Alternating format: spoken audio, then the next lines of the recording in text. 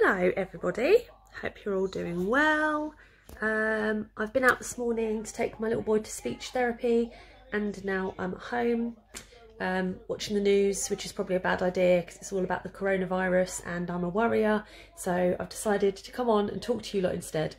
Um, so I just want to ask a quick question and I probably won't get any answers because I'm not under any illusions that I'm some big star and loads of people are watching me.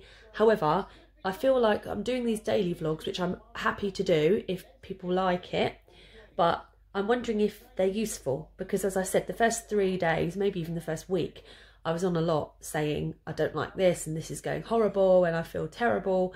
But as I said last night, I feel so much better. It's like a way of life. It's normal. I very rarely have days now where I feel bad. So all I'm doing is saying hello to you all and showing you what I've eaten. Um, so I don't know if you want me to do daily ones still? Do people like that? Or would they prefer me to do like a weekly roundup followed by a weigh-in and then just do one weekly video upload? I don't know. Tell me what you think. Never done this before. Haven't got a clue. Um, if any of you haven't, then please subscribe to the channel and like the videos because I've been looking up like how to expose yourself and I'm not doing this for me. Um, I have a full-time job. I don't intend anything to happen with this. I'm doing this because I really want to inspire other people because I've been there, I've been overweight and I've been afraid and I've not known what to do. And then coming onto YouTube and watching other people, you know, sail through it, I find really, really helpful.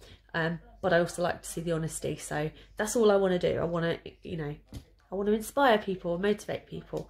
Um, so yeah, but it would really help the exposure of the channel and of what I'm trying to do. If you can like and subscribe, obviously share if you think anybody else would really like it.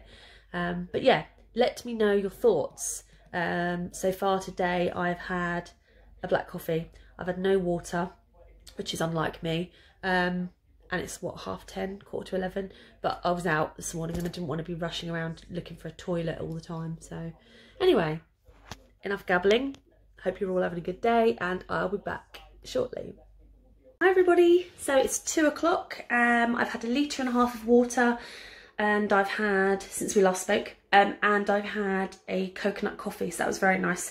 And I've just made my first shake of the day, so I've gone for mint chocolate, but I'm having it hot, which is becoming a little bit of a staple for me. I really like it because I feel like I'm having a hot chocolate and it's really nice. Um, and I'm watching The Undateables because I just think it's the most heartwarming, lovely programme and it makes me forget about crappy things and think about the, all the good stuff that can go on. So I'm watching that.